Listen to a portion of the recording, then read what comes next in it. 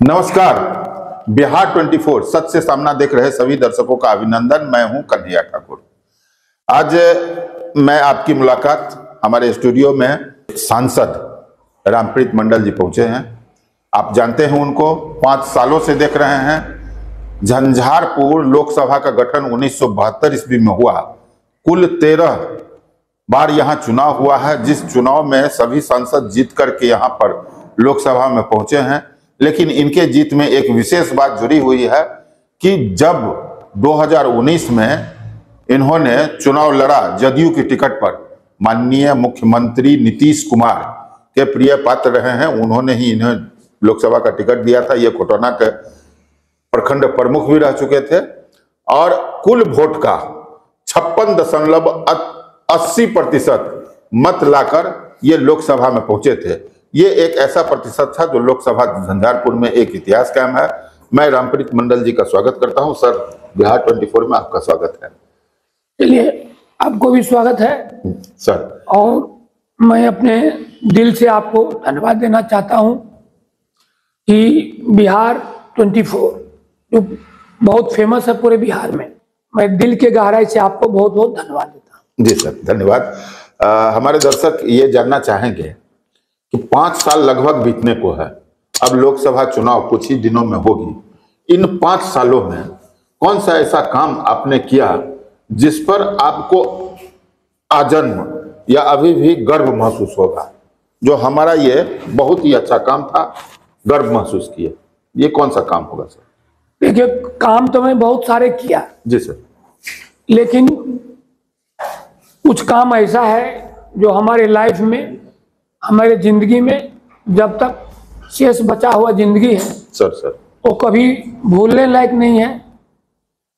और हमेशा याद रखने का चीज़ है जैसा कि मैं आपको बता रहा हूँ सबसे पहले हिंदुस्तान में जब कोविड 19 हुआ था जी जी जी। तो 15 मार्च सॉरी 20 मार्च 2020 को जी जी। मैंने पहला सांसद माननीय प्रधानमंत्री जी को अपने कोष से जो एमपी लाइट बोला जाता है एक करोड़ रुपया अनुदान राशि कोविड के लिए पूरा एक करोड़। एक करोड़ रुपया मैंने लिखा था। जी जी जी। उसके बाद बहुत सारे मान्य ने लिखना शुरू किया। एक तो लाइफ का बहुत बड़ा यादगार पल था उस समय। जी। और याद रखने लायक है कि जैसे आप सब जानते हैं कि दिल्ली से जयनगर जयनगर से बद्रीवास जो नेपाल जाती है ट्रेन जी जी जी। वो लोगों का बहुत बड़ा सपना था। और जैसा कि आपको मालूम होगा कि हिंदुस्तान में पहला जयनगर ही ऐसा स्टेशन है कि पूरे हिंदुस्तान को दूसरे देश छोड़ता है और कहीं ऐसा सुविधा नहीं है। जी हाँ। तो हमारे झंझारपुर क्षेत्रवासियों के लिए बिहार वासियों के लिए बहुत बड़ी सौभाग्य की बात है। जी। एक तो ये पल है मैं ज़िंदगी में हमेशा याद रखूँगा।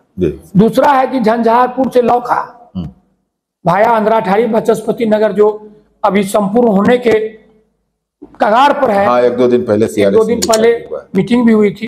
जी। उसके लिए मैंने झंझारपुर से लौखा के लिए करीब करीब छह सात बार माननीय रेल मंत्री माननीय प्रधानमंत्री जी से गुहार लगाया था।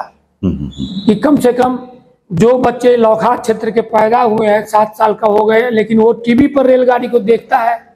उसका बहुत बड़ा सपना है। उस सपना को साकार करने का कार्य कीजिए और माननीय प्रधानमंत्री जी ने और हमारे बिहार सरकार के आदरणीय मुख्यमंत्री जी के सहयोग से जो है वो सपना साकार होने जा रहा है बहुत चंद दिनों में जी जी। उसके लिए वो वो क्षण वो पल वो यादगार लम्हे कभी भूलने लायक नहीं है। वो मेरे लाइफ की पंद्रह साल की सबसे बड़ी उपलब्धि अपने आप को मैं समझता हूँ। सर ये तो बड़ी बात है। झंझारपुर से लोखा लाइन। का उद्घाटन जहाँ तक मुझे याद है छोटी लाइन में 10 नवंबर 1976 को हुआ था जब यहाँ के रेल मंत्री ललित नारायण मिश्रा जी थे उन्हीं के समय ये हुआ था। काफ़ी समय से बड़ी लाइन बन रही थी और बड़ी लाइन बनने के बाद अब आपका ये प्रयास तो सराहनीय है। और दूसरा जयनगर से आपने बताया बर्दीवास के लिए नेपाल के लिए। जी जी। इस रेल लाइन को तो आप याद रखेंगे ही इसके अलावा जब रेल की बात चली है तो एक आध आदमी हम जब कभी भी इंटरव्यू लेने के लिए कहीं जाते थे तो हमको कुछ ऐसे लोग मिलते थे जो बता रहे थे जे कि सांसद जी के पास गेलहुँ हमरा टिकट नहीं भेल छले है तो हुनका हम मैसेज व्हाट्सएप पर क्या दिलिए वो हमरा फट से कंफर्म करा दिलखिन। ऐसा कितना लोग आते थे आपके जी ऐसा है कि मान्य कन्हैया जी मैं बताऊँ आपको कि नौ हज़ार तीन सौ सड़सठ लोगों को अभी तक हमने टिकट पाँच सालों में कन्फर्म कराए। जो हमारे पीए जो है वो हम रजिस्टर एक मेंटेन करते हैं। हम्म, हम्म, यहाँ से लोग हमारे पास व्हाट्सअप करते हैं पीएनआर नंबर उसी वक्त हमारे रेलवे में एक आदमी हम रखे हुए हैं रेलवे ऑफ़िस जाने के लिए जी जी। जिसका नाम है पिंटू राठौर यूपी का लड़का है। नौ हज़ार सात सौ तिरसठ ये जो अभी बताए हैं जी, जी, जी। इतने लोगों का कंफर्म हुआ है। ये भी पल हमारे जहन में जब तक मैं रहूँगा या लोग जितने जो रहेंगे जिनको मैं कंफर्म कराया हूँ वो भी याद रखेंगे। बताते हैं हमको। जी और बीच में एक चीज़ और कहना चाहता हूँ। जहाँ तक रेल का आपने सवाल किया था। जी जी। देखिए खुटौना लौखा ये सब हमारा जो है कर्म भूमि है। जी। मैं खुटौना प्रखंड का ही निवासी हूँ। जी। और यहाँ इससे पहले मैं मुखिया भी था प्रमुख भी था। जब भी मैं लौखा जाता था लौखा नेपाल से सटा हुआ है। लोगों को बॉर्डर पर है। जी जी। लोगों को लहान बाज़ार में जा करके लहान में एक आखा अस्पताल है। हाँ। आई हॉस्पिटल जी जी जी। जो जर्मनी के सहयोग से नेपाल में अवस्थित है और बहुत फ़ेमस है। जी जी। तो जब मैं जाता था कभी अपने क्षेत्र में घूमने के लिए क्षेत्र के दौरा में लोगों का बहुत बड़ा कंप्लेन रहता था कि रेलवे लाइन कब चालू होगी। हम्म हम्म, हम्म तो ये भी मैं बता दूँ मेरा लगाव हालाँकि पूरे झंझारपुर क्षेत्र से है। जी सर। लेकिन कुछ ज़्यादा स्पेशल था जो खुटौना लौखा झंझारपुर का लाइन शुरू हो और आप लोग के प्रयास से आप लोग के माध्यम से भी पेपर के माध्यम से print media electronic media social media के माध्यम से ये काम सफल होने जा रहा है। इसके लिए मैं आप लोगों को भी बहुत बहुत दिल से धन्यवाद देना जी। चाहता अ, अब आते हैं रेलवे से हटकर अन्य योजनाओं पर। जी। कुछ ऐसी योजनाएँ जो प्रायः संसद नहीं कर पाते थे जैसे नवरत्न कंपनी की प्रॉफिट की कोई योजना होती थी ठीक से हमको नाम नहीं याद आ रहा सी है। एस आर सीएसआर सीएसआर योजनाओं से भी आपने कुछ काम किया है जो अविस्मरणीय है। उसके बारे में हमारे थोड़े दर्शकों को बताएँगे तो अच्छा लगेगा। जी मैं बहुत शॉर्ट में आपको कहना चाहता हूँ। सी एस आर मतलब होता है कॉर्पोरेट सोशल रिस्पॉन्सिबिलिटी जी जी। इसमें भारत सरकार का नियम है कोई भी कंपनी भारत सरकार का जो कॉर्पोरेट सेक्शन सेक्शन है वो अगर पैसा प्रॉफिट में जाती है कंपनी तो उसमें से दो परसेंट गरीबों में उनको बांटना है। बतना जी। इससे पहले हो सकता है जैसा मुझे पता चला है कि कोई वैसे काम नहीं किए थे सोशल रिस्पॉन्सिबिलिटी का सीएसआर का। मेरी जानकारी में नहीं हुआ था सांसद हाँ मुझे भी मालूम है सीएसआर फंड से मैं लौकी के बॉर्डर पर नेपाल लौकी प्रखंड में एक नारी बोल के जगह है। वहाँ गाय माताएँ कम से कम 300 400 माताएँ का संख्या है। बहुत लोग स्मगलिंग करके नेपाल ले जाते हैं, तो वहाँ पकड़ करके एसएसबी वहाँ के लोग जनता उस कैंप में रखते हैं गौशाला में अच्छा अच्छा। तो हमने सीएसआर से हुडको कंपनी हम्म। और बीपीसीएल तीन चार कंपनियाँ हैं कोल इंडिया है जी। सब लोगों से आग्रह किया। फाइनेंस कॉरपोरेशन ऑफ़ इंडिया है सब लोगों ने 40 लाख करीब करीब सैंक्शन किया और बहुत जल्दी बनने जा रहा है उसका उद्घाटन हो चुका है। उद्घाटन ये तो जी ये हुई जी। सोशल रिस्पॉन्सिबिलिटी की एक गौशाला। जी। आर जो रनिंग वाटर बच्चों के पिलाने के लिए भीतर तीन चार सौ फीट नीचे जाकर के जो समरसेबल कल होता है जी जी जी जी उसमें सिस्टम है। तो आरओ का सिस्टम हमने घोगाडिया ब्लॉक में एक ब्रह्मपुर गाँव है। दियोर ब्रह्मपुर वहाँ लगवाए हैं लौखा में लगवाए हैं कन्या विद्यालय में अभी सत्तर प्रस्तावित है जो हमने डीएम साहब से आज भी बात की है। इनसे एनओसी जो ही मिलेगा कोल इंडिया जो भारत का नवरत्न कंपनी है वो भी सत्तर आरोप उसी प्रकार की जिसकी कीमत दस बारह लाख रुपए का है। वो भारत सरकार के सृजन से वो भी हम लगाने जा रहे हैं। कुछ हमने सीएसआर फंड से लाइटें लगाए हैं। लाइट जो सोलर सिस्टम अभी अभी लगा है खजोली प्रखंड में लगा है लौकी में लगा है कुटौना में लगा है। बहुत सारे जगह लगाए हैं पंद्रह ठो। उसके बाद सर अनुसूचित जाति महादलित टोला में मैंने कंप्यूटर दिया हूँ पाँच स्कूल में। जी। इतना डिटेल आपके पास समय नहीं पूरा राइटिंग में मैं दे रहा हूँ। Sir sir. और आप शायद 26 तारीख को एक हिंदुस्तान पेपर बहुत फ़ेमस पेपर है उसमें देखिएगा। हम उसमें हिंदुस्तान पेपर के माध्यम से 26 तारीख जो भी काम हमने पाँच साल में किया है उसका पूरा डिटेल आपके द्वारा इस स्वजन से पेपर के माध्यम से हमारे जनता सम्मानित माल, मालिक जो जनता है जनता जनार्दन के पास जाएँगे ताकि उनको पता चलेगा कि मैं क्या काम पाँच साल में किया। चलिए ठीक है आप तो मतलब हमारे चैनल के अलावा प्रिंट मीडिया से भी जानकारी देंगे जी। पाँच सालों का। बहुत बहुत धन्यवाद आपको। और आगे बढ़ते हैं थोड़ा सा इस काम के लिए। जैसे एक प्रधानमंत्री का बहुत बड़ा योजना था वो स्वास्थ्य बीमा का। योजना था जिसमें लोग संसद की अनुशंसा करके उसमें कितना आपने खर्च किया है? और अ, आपके अनुसार कितने लोग लाभान्वित हुए? पाँच चार लाख देखिए- पाँच लाख। कन्हैया जी आप तो अचानक मेरे पास आए हैं। सर। मैं डाटा कलेक्ट करके नहीं रखा हूँ लेकिन मैं इतना आश्वस्त आपको करना चाहता हूँ जी जी जी। कि प्रधानमंत्री जो आपको आयुष्मान भारत के हाँ आयुष्मान भारत। जो गंभीर बीमारी के लोगों को मदद करते हैं उस माध्यम से करीब पाँच करोड़ से ज़्यादा रुपया मैं लोगों को दिला चुका हूँ। अरे मैं हमेशा सोशल मीडिया पर उसका फ्लैश करता हूँ जी जी। कि जैसे लीवर का ट्रांसप्लांट हुआ किडनी का हुआ ब्रेन हेमरेज का हुआ कैंसर का हुआ बहुत सारी गंभीर बीमारियों के आदरणीय प्रधानमंत्री के द्वारा दिया जाता है जो मैं दिला चुका हूँ। पाँच करोड़ से ज़्यादा होगा इसका डिटेल में छब्बीस तारीख को पेपर के माध्यम से पता चलेगा। हाँ, ये बड़ी बात है कि ये संवेदनशीलता आपकी दिखाती है। एक चीज़ थोड़ा सा लगता है जो कि आदमी तो जितना लोग चाहते हैं हंड्रेड परसेंट पूरा नहीं हो पाता है। पाँच साल समय बीतने को है। कुछ ऐसा काम जो आप पाँच साल में करना चाह रहे थे अ, मलाल हो जो नहीं कर पाए या फिर मौका मिलेगा तो करेंगे कुछ ऐसा है?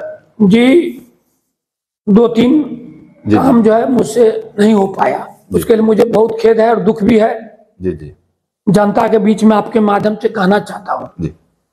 एक तो मेरा सपना था कि हमारे बच्चे जिनके पास पैसे हैं वो बाहर जाकर अपने बच्चे को पढ़ाते हैं। जी हाँ। जो गरीब के बच्चे हैं यहाँ अच्छे स्कूल में नहीं पढ़ पाते हैं। तो मैंने तीन चार बार माननीय शिक्षा मंत्री से भी पर्सनली मिला हूँ धर्मेंद्र प्रधान जी से। जी। और अन्नपूर्णा देवी जी राज्य मंत्री है उनसे मिला हूँ। एक रंजन सिंह जी है आर के रंजन सिंह उनसे भी मिला हूँ। हम्म, पत्राचार किया हूँ लेकिन उनका जवाब यही आता है कि ज़मीन की अभाव है। तो मैंने हमारे विद्वान जो जिला पदाधिकारी है उनको लिखा हूँ कि आप कम से कम जगह का ये कराइए। रांटी में है। काफ़ी जगह है।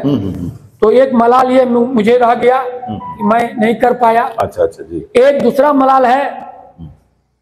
उन्नीस सौ चौरासी में अच्छा जी। उस समय के चतुरानंद मिश्रा साहब हाँ हाँ। हमारे उस समय के सर्दीय मंत्री कृषि मंत्री थे। जी जी। और समीर महासेठ जी के पिताजी राजकुमार महासेठ जी भी उस जो फाउंडेशन स्टोन में सम्मिलित थे।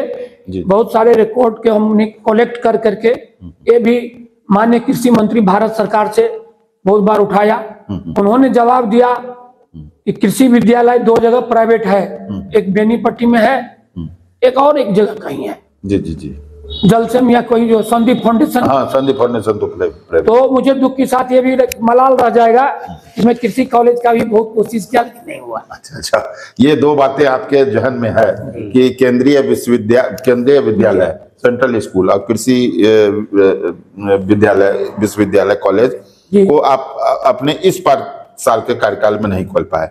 अगर आगे मौका मिलता है तो फिर उस पर काम किया जाएगा। ये तो आश्वासन प्रयास रहेंगे अगर हमारे जनता भगवान जी। मैं चुनाव में अगर लड़ने जाऊँगा जीत अगर हासिल की उनके आशीर्वाद से आप लोगों के सहयोग से तो मुझे वो दो सपना है दो सपना अगले पाँच वर्षों में ज़रूर पूरा करूँगा। बात करते करते बात का प्रवाह राजनीति पर चला गया तो जाते जाते एक प्रश्न और भी। अभी जो राजनीतिक परिदृश्य है एक इंडिया गठबंधन है। आप जिस दल से सांसद हैं वो इंडिया गठबंधन का ही हिस्सा है। और एक दूसरा जो है सो राजग गठबंधन है। आप आने वाले चुनाव चुनाव में अपने आप को गठबंधन से टिकट मिलेगा इसके प्रति कितना आश्वस्त अपने आप को पाते हैं? देखिए सबसे पहले मैं आपको जानकारी दे दूँ जब मेरी चुनाव हुई थी जी, जी। 2019 में हम्म, उस समय में हमारे आदरणीय मुख्यमंत्री जी एनडीए के साथ थे। जी। एनडीए के साथ गठबंधन से हम चुनाव लड़े थे। जी जी। और काफ़ी मतों से मैं विजय हासिल किया था। जो आपने पहले ही बताया कि एक रिकॉर्ड है हमारे झंझारपुर क्षेत्र के लिए। अभी हमारे आदरणीय मुख्यमंत्री जी श्री नीतीश कुमार जी जी।